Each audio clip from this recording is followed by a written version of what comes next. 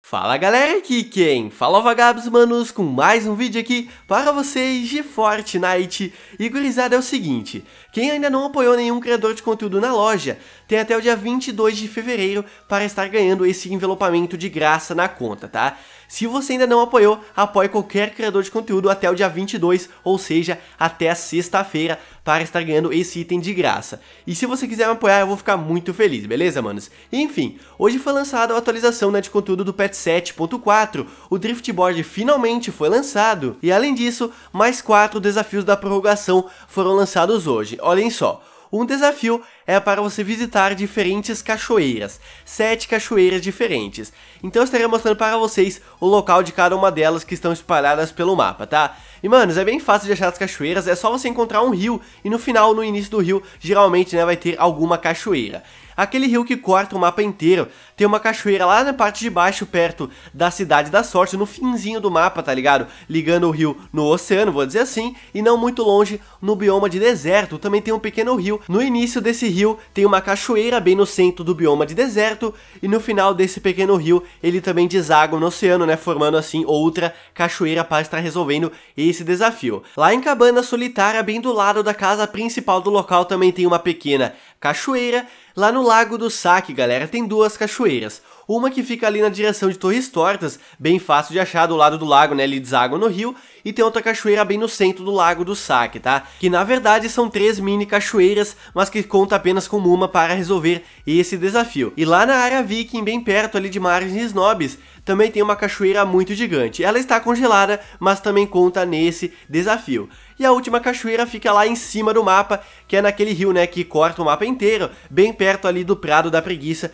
Também tem uma cachoeira no finalzinho para você estar completando esse desafio, beleza? Outro desafio que foi lançado hoje é para você causar dano a oponentes com espingardas ou submetralhadoras, 500 de dano no total. Outro desafio é para vasculhar baús ou caixas de munição no bairro, 7 no total para você vasculhar lá no bairro. E o último que foi lançado hoje é para você ficar entre os 10 melhores esquadrões com um amigo, em 3 partidas diferentes, ok galera? Então esses foram todos os desafios da prorrogação lançados hoje. Lembrando que se você completar todos eles, né, todos os desafios da prorrogação, você vai ganhar o passe de batalha da temporada 8 de graça. E rapaziada, agora uma novidade bem interessante.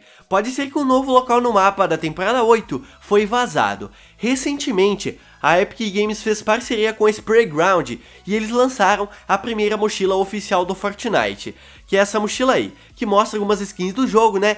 E na descrição da mochila diz o seguinte, Fortnite Shark Royale, a única mochila oficial do Fortnite que retrata as nossas skins favoritas do Fortnite correndo da tempestade através de Shark Shrubs que traduzindo seria arbustos de tubarão. Então galera, provavelmente esse seja o nome de um futuro local no mapa, Shark Shrubs. E isso faz muito sentido, já que fala em tubarão. E uma boa teoria é que uma parte do mapa, ou pelo menos um local no mapa, né, na próxima temporada, esteja inundado ou algo do tipo, e pode ser que ele receba esse nome.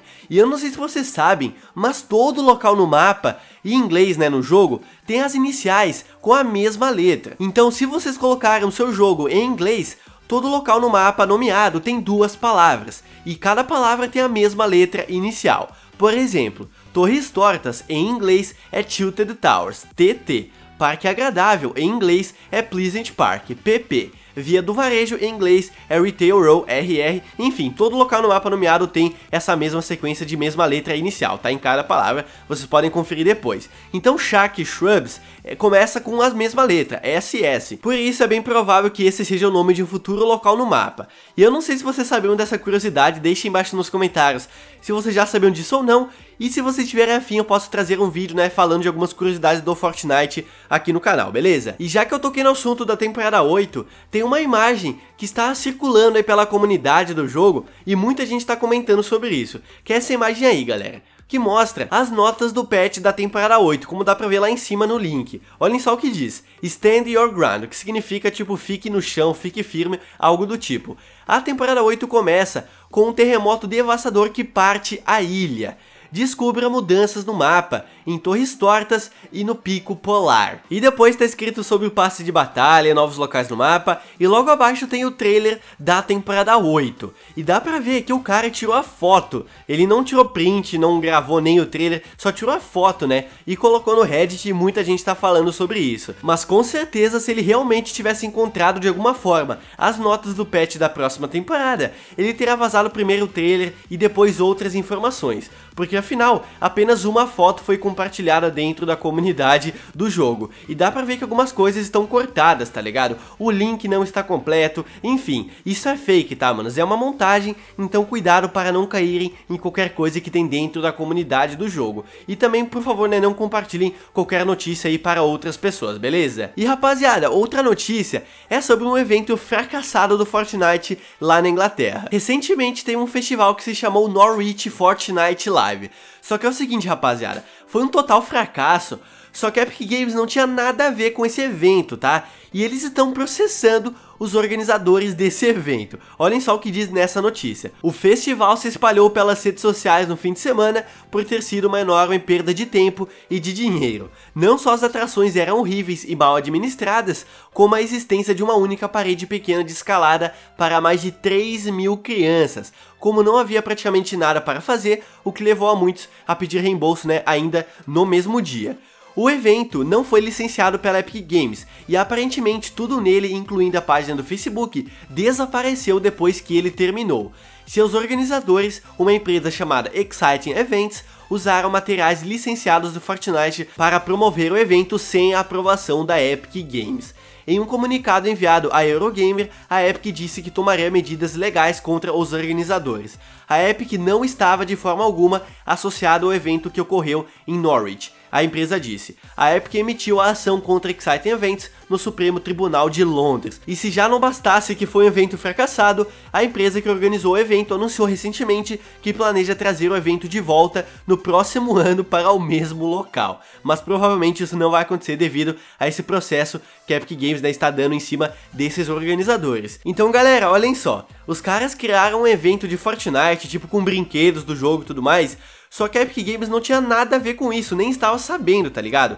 Eles apenas usaram o nome do jogo, né, para promover o evento. Ou seja, eles colocam lá Fortnite no evento e a galera fica interessada, né? Muitas crianças se interessam por conta somente da palavra Fortnite e acabaram indo no evento. Como disse aqui na notícia, mais de 3 mil crianças, ou seja, muita gente foi no evento. Só que obviamente foi tudo mal administrado. Pouca gente cuidando, poucos brinquedos, muita gente ficou sem nada para fazer, muitas filas, muito mal administrado, tá ligado? Ou seja, foi um tremendo fracasso. Então a Epic ficou sabendo disso, obviamente, né, por conta das redes sociais, e está processando essa organizadora, né, de eventos, Exciting Events para ser mais específico. E é óbvio que eles vão se dar muito mal nisso, porque não é nada legal, né, você usar o nome de um jogo de uma empresa para promover um evento sem consciência da própria empresa. Por isso esses organizadores vão se dar muito mal nessa história. Aí você vai lá e fala: ah, mas a Epic Games está sendo muito desumilde processando os caras, só porque o evento não foi tão bem assim. Mas galera, isso querendo ou não, acaba manchando a empresa, manchando o Fortnite também. Porque não era um evento oficial do jogo, e muita gente acaba sabendo disso como um evento fracassado de Fortnite, sendo que não era um evento oficial. Por isso eles estão processando esses organizadores. E por fim, o último assunto que eu separei aqui no vídeo de hoje é uma dica, manos. Desde o patch 7.4 que foi lançado semana passada, tem uma parada que mudou das armadilhas. Quem gosta de usar muito o Jump Pad vai gostar dessa dica caso ainda não saiba. Olhem só, manos. Esse clipe foi gravado pelo usuário do Reddit chamado Frank Condor. Quando você cai de uma altura muito grande e você não tem o item da reinstalação de Asa Delta, você pode usar o Jump Pad instantaneamente quando você cai no chão, assim evitando morrer ou tomar dano de queda. Essa foi uma mudança bem interessante no patch 7.4, que o chão ele é construído instantaneamente quando você coloca a armadilha. Isso acontece apenas com o chão, não com as paredes, tá? Mas é claro que você precisa ter os materiais. Se você não tem no mínimo 10 de recurso, né, você não consegue construir esse chão, tá? Mas se você tem 10 de recurso, você pode, por exemplo, ficar lá em cima numa build battle lá, tretando super louco, e quando alguém destrói, você tá caindo, você pode colocar o jump na hora que você cai, tá ligado? Evitando assim morrer ou tomar qualquer dano de queda. É uma dica muito boa que eu sei que muita gente ainda não sabe e pode ser totalmente útil aí durante as partidas. Se o Kikante ainda estivesse no jogo, com ele também daria para fazer essa técnica, né? Mas por enquanto somente com o jump, mas é uma dica bem legal que eu queria compartilhar aqui com vocês, ok? Enfim, manos, espero que vocês tenham gostado aqui do vídeo. Deixem embaixo nos comentários a sua opinião sobre os assuntos que eu falei aqui no vídeo de hoje,